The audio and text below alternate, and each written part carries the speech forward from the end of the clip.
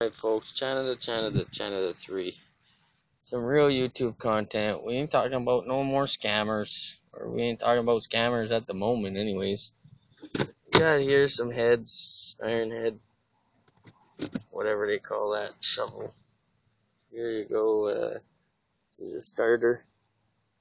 I guess it looks like an electric starter in there. Bunch of the relays. And uh, here's a nice frame. There's a tire. There I see the uh, red tank. The tank's red. I see it down here. And uh, I don't know. We'll see what's in there.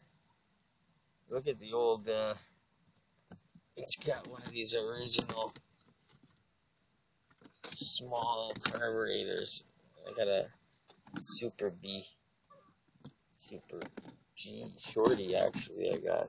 I don't know put on so yeah, we'll come through with another uh, video of all the parts lined up and uh, stacked out, so on and so forth. But uh, the bike's been in boxes for about nine years, so should look nice. All right, China to China, China to three. You know, I got my broke broke arm. It's half loaded, man.